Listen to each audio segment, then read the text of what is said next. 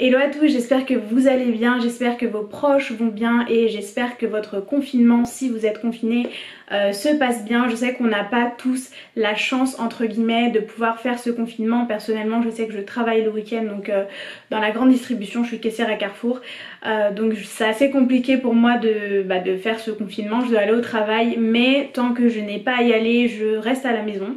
Mais c'est vrai que même si concrètement on nous demande de rien faire et de rester chez nous, euh, les journées sont longues et pour les personnes qui sont un peu des piles électriques comme moi, euh, c'est super compliqué à gérer. Personnellement j'ai la chance d'avoir mes deux petits frères à la maison, donc il y en a un qui est en troisième et l'autre qui est en CM2, donc il faut leur faire les, cours à la maison, donc les profs euh, nous envoient les cours et on fait un peu comme on peut. ma mère bosse en tant qu'aide-soignante, donc voilà, elle est pas à la maison, c'est une situation comme je l'ai dit exceptionnelle et compliquée. J'espère vraiment que votre côté ça va et que bah, malgré cet enfermement vous arrivez à garder la pêche et à être de bonne humeur parce que concrètement c'est de ça dont on a besoin quand même. Moi je sais que ces derniers jours, bon malgré le fait que j'ai du pain sur la planche avec les cours de mes frères, euh, j'ai trouvé refuge dans euh, les réseaux sociaux. Twitter me fait euh, vraiment rire ces derniers temps et dans les vidéos YouTube c'est pour ça que j'ai décidé de vous en faire une et je pense que je vais continuer à en faire tout au long du confinement sauf quand je travaille donc le samedi et le dimanche parce que je trouve que c'est quand même une bonne façon pour moi de passer ma journée, enfin d'écrire une vidéo et de vous, la, faire et de vous la mettre en ligne. Euh, c'est une bonne manière pour moi de passer ma journée. Et en même temps je pense que de votre côté bah, vous avez des choses à regarder et du coup euh, c'est un peu donnant donnant, on passe le temps comme on peut. J'ai décidé de vous donner 7 séries à regarder pendant le confinement. C'est pas forcément des séries où il y a une maladie qui court ou euh, des séries un peu flippantes sur la fin du monde. Pas du tout, c'est des séries qui pour moi rentrent un peu dans l'ambiance du confinement. J'espère vraiment que la vidéo vous plaira. C'est parti la première série que je vous conseille pendant ce confinement, c'est la série Terra Nova. Elle est sortie il y a quelques années et elle a été créée par Steven Spielberg. Euh, cette série a qu'une seule saison, je tiens quand même à le préciser, il n'y a pas de suite. Cette série, elle se passe en l'an 2000, 2000 euh, et quelques, 2150 je crois. Et en fait, on suit une famille. En fait, c'est l'époque où la Terre, bah, elle est totalement polluée, la Terre est un déchet et rien n'est rattrapable. Et en fait, des scientifiques ont trouvé une faille spatio-temporelle. Euh, qui nous ramène au temps où il y avait encore des dinosaures. Je sais que là concrètement le synopsis il paraît super bizarre mais écoutez-moi, la série est excellente. Ces scientifiques ont trouvé une faille spatio-temporelle qui permet en fait aux personnes de l'an 2000 de déménager euh, à cette époque-là, donc à l'époque des dinosaures, et de reconstruire une vie tout en gardant en fait toutes les avancées technologiques euh, qu'ils avaient en 2000, 2150 mais euh, de les avoir euh, à l'époque des dinosaures, là où il y a extrêmement de verdure, là où il n'y a pas encore de pollution. Vraiment, c'est donner une nouvelle chance à la race humaine et on va suivre donc une famille parce que bien évidemment c'est pas toute la population qui peut déménager du jour au lendemain. Euh, ils y vont par section par colonie je crois. Oui c'est par colonie. Et il y a une famille dont la mère est médecin qui va être euh, bah, sélectionnée pour passer par cette faille spatio-temporelle. La famille compte la mère le père et trois enfants. Euh, et en fait on va les suivre dans cette nouvelle vie. Et c'est vraiment une série qui est excellente. Elle a malheureusement été annulée non pas euh, de par on va dire sa qualité mais parce qu'elle coûtait beaucoup trop cher. En même temps c'est une série qui a été faite par Steven Spielberg donc ça explique tout. Euh, on va suivre en fait le nouveau départ de cette famille qui euh, redécouvre parce que bon pour nous on est encore dans une ère où malgré le fait qu'il y ait beaucoup de pollution qui est rattrapable là clairement en 2000 et quelques la terre n'était pas rattrapable. Ils ne connaissaient pas forcément les arbres et tout ce qui voilà la verdure. Et là ils redécouvrent tout. Et vraiment cette série elle est super. Je vous la conseille fortement la deuxième série que je vous conseille à regarder pendant ce confinement, c'est la série The Society. Qu'une seule saison, la deuxième est en production. C'est une série où on suit un groupe d'adolescents en fait qui a été transporté dans euh, une ville qui est identique point pour point à la leur sauf qu'il n'y a plus d'adultes et ils vont devoir se débrouiller en fait pour euh, bah, concrètement pour survivre et voilà comme j'ai dit il y a zéro adulte donc ils doivent se débrouiller d'eux-mêmes et euh, ce qui me fait assez rire c'est que sans vous spoiler quoi que ce soit euh, tout ce qui s'est passé en ce moment avec le coronavirus et le fait que les gens se sont rués sur les courses, sur les, dans les magasins, euh, bah c'est un peu pareil, ils savent pas quoi faire, ils savent pas s'ils ont des vivres pour, pour longtemps, ils savent pas combien de temps ils vont rester là. Nous-mêmes en, tant que, que que regardeurs. Nous-mêmes en tant que personnes qui regardent la série, on sait pas trop ce qui se passe.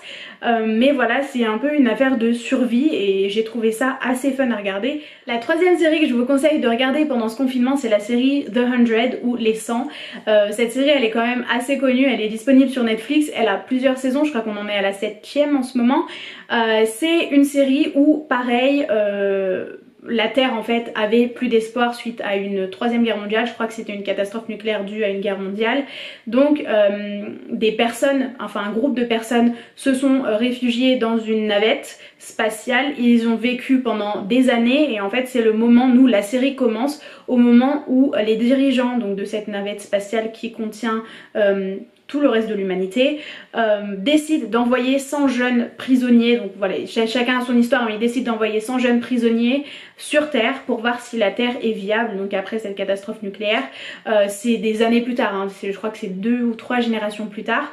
Donc pareil, en fait, un peu comme dans The Society, on va, on va voir un groupe de jeunes devoir se débrouiller. Pareil, ils savent pas pour les vivre. Eux, ils n'ont pas accès à des magasins ou quoi que ce soit puisque il y a plus personne sur Terre. Donc ils vont devoir, on va dire, euh, retourner aux racines. Sauf qu'ils ne connaissent pas forcément les racines. Ils ont jamais été sur Terre de leur vie.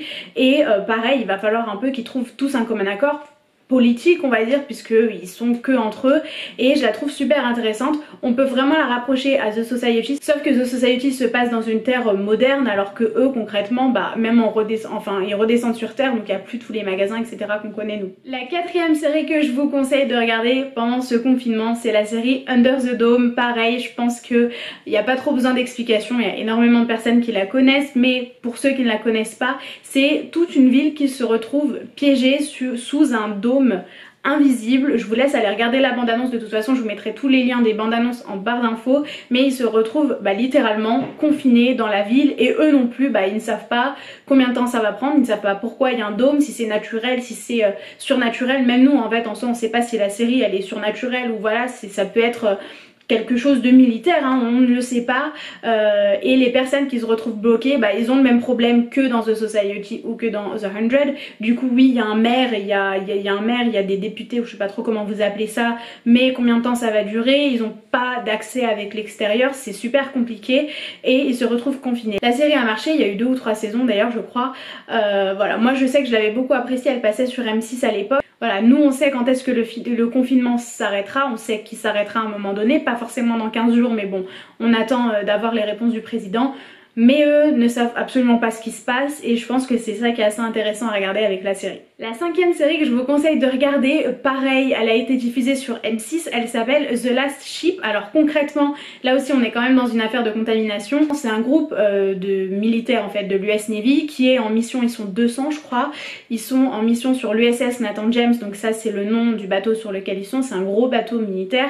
Ils sont en mission pendant plusieurs mois et quand ils vont retrouver le sol américain, euh, une épidémie a décimé euh, plus la majorité de la population mondiale. Et en fait euh, les états unis en soi n'existent plus. Euh, enfin tout ce qui est politique etc n'existe plus. C'est un peu j'ai pas envie de dire l'anarchie mais c'est un peu l'anarchie. Et en fait le capitaine avec l'aide d'une scientifique ils vont devoir allier on va dire leurs forces pour trouver un vaccin à cette maladie. Donc ils vont reprendre le bateau et les 200 personnes qui y à son bord, ce ne sont pas des particuliers, j'ai envie de dire, ce sont tous des Navy SEAL, Navy ils font tous partie de l'US Navy quoi et euh, ils vont devoir trouver un vaccin et sauver la population mondiale. Alors je sais que c'est pas forcément le genre de série qu'on a envie de regarder pendant que c'est en train de nous arriver à nous mais euh, je la trouve quand même super intéressante et c'est vrai que j'ai pas l'impression qu'M6 lui a donné sa chance. La série a plusieurs saisons, je crois qu'elle en a 5 si je me trompe pas. De toute façon à chaque fois je vous préciserai juste ici combien de saisons euh, il y a à regarder. Je pars du principe moi personnellement que plus il y a de saisons mieux c'est dans le sens où on va pouvoir passer plus de temps sur la série et oublier ce confinement mais euh, si vous êtes plus intéressé par des séries avec des saisons un peu plus courtes, il y, en a aussi dans la vidéo. La sixième série que j'ai à vous conseiller, elle ne fait pas du tout euh, partie euh, des séries sur la contamination ou sur voilà tout ce qui concerne ce qui est en train de nous arriver en ce moment. C'est une série qui s'appelle The Man in the High Castle. Ce n'est pas la première fois que j'en parle sur ma chaîne, j'en avais déjà parlé je crois pour mes séries de l'été 2018. Si je me trompe pas, je vous mettrai le lien de toute façon juste ici si jamais ça vous intéresse.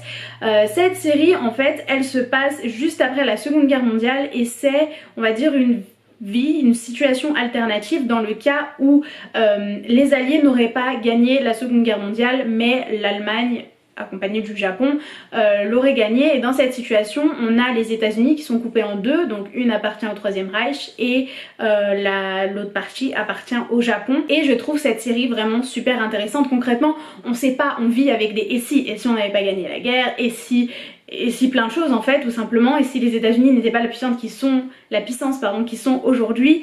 Euh, on vit avec ce genre de questions en tout cas moi c'est des questions que j'aime bien posé, je sais que c'est bizarre à dire mais bon c'est le cas. Euh, la série est super intéressante, il y a trois saisons je crois et euh, vraiment c'est une qualité euh, une qualité de ouf. Il y a l'acteur, j'ai oublié son nom, Russell? Je vous mettrai le nom juste ici, même la photo qui va avec. c'est un acteur que j'adore, on l'a vu récemment dans la série aussi Victoria. Personnellement cet acteur il joue super bien, il joue un allemand dans ce cas, il joue un Obergruppenführer je sais pas si je le dis bien, je sais pas si c'est réellement son titre, mais bon bref, euh, la série elle est vraiment vraiment excellente. Elle n'est pas sur Netflix mais sur Amazon Prime donc si vous n'avez pas Amazon Prime et que vous êtes étudiant concrètement ça coûte 3 euros par mois. Il y a 90 jours d'essai pour les étudiants, c'est-à-dire que vous ne payez pas pendant 3 mois et si jamais vous ne voulez pas payer, vous avez toujours la possibilité de faire euh, du streaming. Euh, du streaming dernière, la septième série que je vous conseille de regarder pendant ce confinement. Elle n'est pas disponible sur Netflix, elle n'est pas disponible sur Amazon Prime mais sur OCS. OCS qui en ce moment, si je me trompe pas, ils ont décidé de faire un peu comme Canal et d'être libre, euh, enfin d'être gratuit. Euh, sinon elle est très très très connue donc très facilement trouvable sur internet. C'est euh, La Servante écarlate ou The Handmaid's Tale. C'est une série qui a plusieurs saisons, qui est excellente qui a été récompensée à plusieurs reprises. Elisabeth Moss, l'actrice principale, a elle aussi été récompensée à plusieurs reprises et même euh, d'autres actrices de la série. Cette série est une série euh, magique, vraiment moi personnellement je l'adore. On suit en fait euh, une personne en soi, mais euh, dans un, j'ai pas envie de dire un monde parallèle parce que concrètement c'est quelque chose qui pourrait arriver, euh, c'est pas, euh, c'est pas une invasion de dinosaures, une invasion d'extraterrestres, c'est tout simplement que à la suite de tout ce qui arrive avec la pollution etc, les femmes sont de moins en moins fertiles, vraiment beaucoup moins fertiles. Et par conséquent il y a un peu on va dire un régime qui a pris le pouvoir aux états unis qui s'appelle, qui est devenue en fait la République de Gilead où concrètement chaque personne a une utilité en fait, plus personne n'est inutile. Il y a des gens qui ont énormément de pouvoir et il y a les servantes dans toute cette affaire. Les servantes ce sont des femmes dont on sait sont capables, je sais pas du tout si c'est français, mais dont on sait sont capables d'avoir des enfants et on va euh, les utiliser. Donc les femmes des dirigeants et les dirigeants vont les utiliser littéralement les violer euh, pour euh, avoir leurs propres enfants via elle. En fait, ça va juste être des coquilles pour avoir leurs enfants. Et c'est euh, une série qui est assez flippante dans le sens où concrètement c'est des choses qui pourraient arriver. Et euh, voilà. Comme je vous dis la série a été récompensée à plusieurs reprises. Elle est excellente. Je vous mettrai la bande annonce qui vous expliquera sans doute mille fois mieux que moi euh, dans la barre d'infos. Et euh, voilà. Voilà c'est tout pour cette vidéo. J'espère vraiment qu'elle vous a plu. J'espère vraiment qu'elle vous a diverti et que vous trouverez peut-être des séries à regarder dans toute cette liste. N'hésitez pas à mettre un j'aime et à commenter. Moi vous savez, ou vous savez peut-être pas, j'ai créé cette chaîne concrètement pour les commentaires parce que j'adore, j'adore, j'adore parler de séries. Si jamais vous avez euh, les séries qu'il y a dans cette liste, n'hésitez pas à en parler dans les commentaires. Attention si vous spoilez, mettez bien euh, spoilers ou spoil juste avant parce que euh, c'est une vidéo qui n'est pas à but de spoiler quoi que ce soit. Au contraire, je conseille les séries, je n'ai pas envie qu'on les spoil. Mais si vous voulez en parler, n'hésitez pas tant que vous précisez bien que c'est un spoil. J'espère que la suite de ce confinement se passera très bien pour vous. Moi en tout cas je continuerai à faire des vidéos. Je vous fais de très très très gros bisous et je vous dis à bientôt. Bye